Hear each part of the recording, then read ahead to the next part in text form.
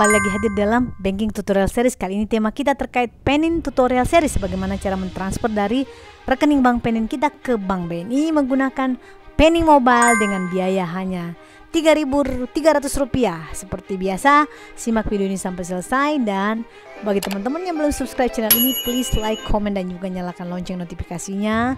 Karena setiap hari kami update terus video terbaru buat kalian Langsung aja kita check it out videonya. Yang pertama kalian harus sudah download Panin Mobile dan terdaftar di Bank Penin tentunya. Nah, jadi sumber dana kita di Penin Mobile atau Bank Penin. Sekarang kita buka aplikasi Penin Mobile. Pertama kali kita pakai kalau saya pakai sidik jari langsung masuk ke sini, pakai pin masuk ke sini bagian depan dashboardnya kita klik transfer nanti ada pilihan transfer in antar bank penin atau transfer other bank atau transfer ke rekening bank lain.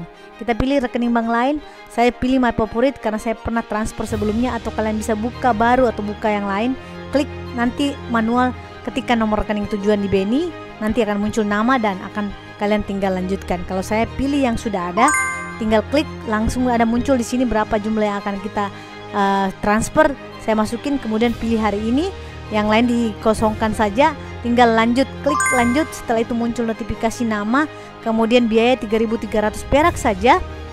Kebayangkan lumayan dibanding yang lain 6.500 ini cuma setengahnya saja.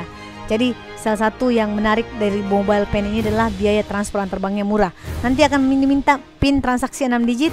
Setelah itu ada OTP SMS di uh, minta langsung untuk kalian input kembali di handphone kalian yang terdaftar di Penin 6 digit dan itu berubah-berubah ya tentunya OTP-nya. Kemudian langsung kalian masukkan dan saldo Anda adalah nanti akan notifikasi muncul transaksinya Penin sudah berhasil sejumlah 3,3 juta seperti yang kalian lihat di video ini. Nah, kita akan melihat kembali dan validasi ke BNI Mobile Banking saya untuk memvalidasi apakah dana yang saya transfer tadi dari rekening Penin Mobile saya sudah masuk di bank BNI saya menggunakan BNI Mobile Banking tentunya yang lebih cepat. Pakai sidik jari langsung masuk di halaman depan dashboard seperti ini. Saya pilih rekeningku uh, untuk dan kemudian tabunganku ya.